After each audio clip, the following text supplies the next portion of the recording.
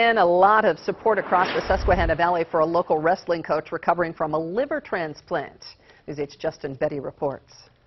This summer, Jake Calhoun was in Daytona Beach, Florida, preparing for World Wrestling Team Trials when he collapsed from heat stroke. I went out in the Florida heat for a jog and for a workout, and uh, just wasn't used to wasn't used to the Florida heat. Jake's coach and coach's wife were the first ones to find him. Uh, he had actually sent us on an errand for him uh, to get some stuff for after his workout, and we came back and actually found him laying outside the arena where he was working out.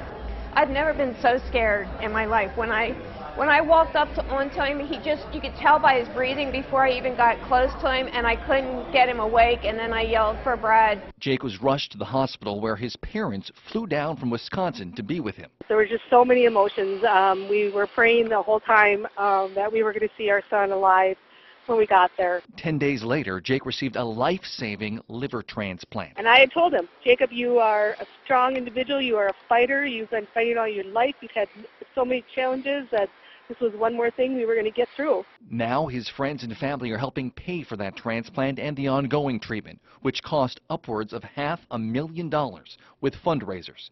Wednesday night, several Buffalo Wild Wings in both Pennsylvania and Wisconsin donated 10% of their proceeds to Jake's cause. Yeah, there's a lot of people pulling for him, so we're looking forward to, you know, doing everything we can to help him get back on his feet. I'm so grateful for that, for, you know, my my close friends and family. I don't know what, what I'd do without them. In Hanover, Justin Betty, News 8. Jake recently returned home to Pennsylvania and says he hopes to start coaching again soon.